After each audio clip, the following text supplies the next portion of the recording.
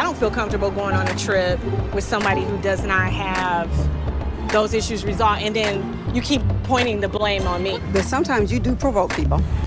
And here we go. Now we're talking about me? Now don't do No, that, listen, Sheree. listen, You we're talking about- too. Don't tell I'm me not about me. listen, Talk to you. Talk to yourself. No, I'm talking to you because you do I'm done. provoke people. I'm done. What's going on with you and Matt? I mean, he's I'm breaking windows. Obviously, she provokes a lot of people. Like,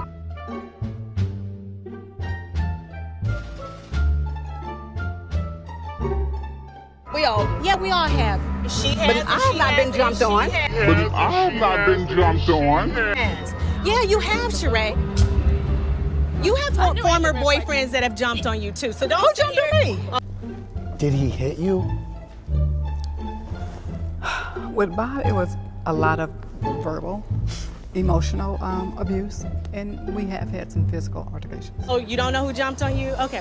Wait a minute, wait a minute, boo. We're not talking about me, but we're talking about how you provoke people. You can't do that, boo. You know, there's this fine line when we can accept, oh yeah, that's, you know, provoking or when it's not.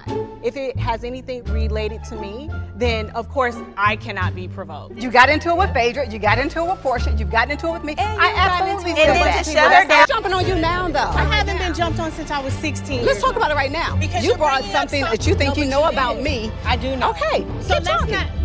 I know for a fact Sheree has been in an abusive relationship before.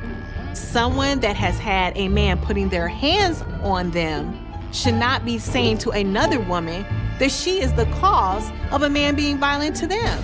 Matt is breaking your windows and trying to get in touch me, and that's none of your But business because I haven't talked to you. But my right? business is your business. Okay, so let's You not. wish you were on my level, but go ahead. You wish you were on my level, but go ahead.